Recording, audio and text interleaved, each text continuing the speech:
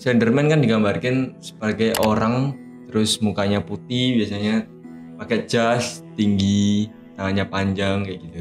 Legenda Slenderman sendiri muncul pertama kali di internet pada tepatnya di forum Something Awful. Kita lanjut lagi di fakta yang pertama.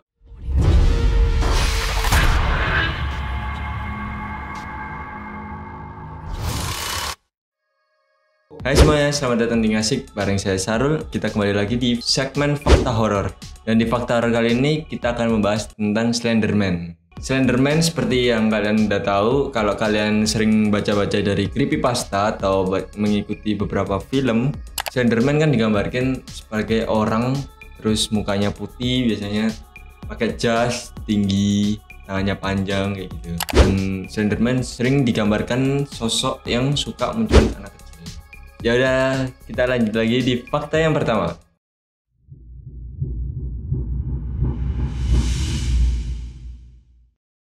Legenda Slenderman sendiri muncul pertama kali di internet pada tahun 2019 silam, tepatnya di forum Something Awful. Kala itu, forum tersebut tengah mengadakan kontes Photoshop, di mana seorang peserta bernama Eric Ronson tadi ini mengunggah dua foto berwarna hitam putih Berikut ini fotonya yang akan ditampilin di sini. Kedua foto tersebut menampilkan sekelompok anak-anak yang tengah bermain. Namun, kalau kalian perhatikan, di belakang mereka ada sosok menyeramkan dengan wujud tanpa wajah, bertubuh tinggi, serta kurus, serta memakai jas lengkap dengan dasi hitam. Di gambar pertama, Eric berkomentar tentang fotonya tersebut. Menurut Eric, pada foto pertama tersebut, Kami tidak ingin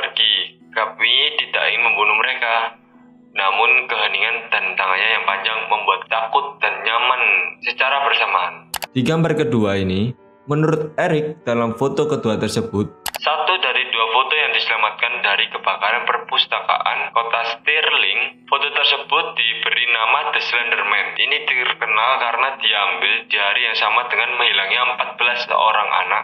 Lalu, pemerintah menyebut foto ini palsu. Seminggu kemudian kebakaran terjadi di perpustakaan foto yang disimpan tadi.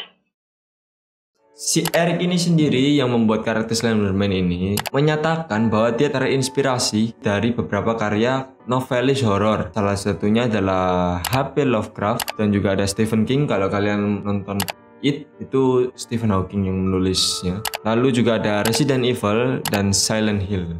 Tadi sangka dari foto yang dia upload untuk perlombaan tadi itu melejit dan viral pada masa itu di internet. Maka tak heran setelahnya mereka menggambarkan legenda Slenderman lebih jauh. Namun, sayangnya perkembangan cerita ini justru menghilangkan beberapa kasus tragis di dunia maya. Sehingga banyak yang percaya bahwa sosok Slenderman ini memanglah nyata. Dan selanjutnya, eh, ini ada beberapa kasus Slenderman. Yang pertama itu ada kasus remaja nekat tikam rekannya dan dihukum 40 tahun di rumah sakit jiwa. Awalnya Anissa Weller yang berumur 16 tahun ini dan temannya bernama Morgan Geyser mengajak teman sekelas mereka yang bernama Peyton Lutner ke hutan kota di Wawikesa. Namun secara tiba-tiba Geyser menusuk Lutner sebanyak 19 kali, sementara Weyer berdiri dan menyuruh Geyser agar terus menusuknya. Dilansir dari beberapa sumber, aksi pembunuhan itu gagal setelah Lutner berhasil melarikan diri dengan merangkak di antara semak-semak dan ditemukan seorang pengendara sepeda pada waktu itu. Akhirnya si Weyer ini difonis 25 tahun rehabilitasi di rumah sakit jiwa. Vonis itu diterima setelah dia terbukti mengidap gangguan kejiwaan ketika berusaha membunuh teman sekelasnya pada tahun 2015 itu. Oke, di kasus kedua ini ada kasus pembunuhan. Ini terjadi di Indonesia di mana menewaskan seorang bocah berumur 6 tahun di Sawah Besar, Jakarta Pusat pada hari Kamis tanggal 5 bulan 3 2020.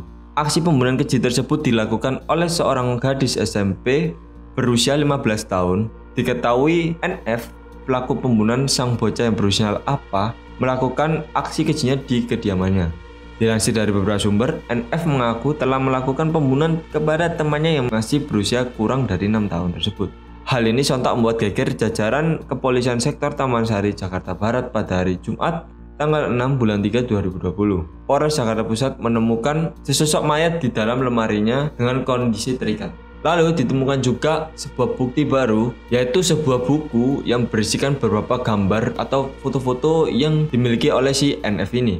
Yaitu ada toko si Slenderman ini salah satunya. Karena dari pengakuannya sendiri, si NF ini termasuk suka karakter Slenderman ini. Lalu ada gambar juga perempuan berambut pendek yang ada bagian tubuhnya terikat tali dan dalam gambar tersebut ada tulisan keep calm and give me torture atau yang diartikan di bahasa Indonesia yaitu tetap tenang dan beri aku siksaan. Dan lebih gilanya lagi, si NF ini mengaku tak menyesal membunuh bocah lima tahun tersebut.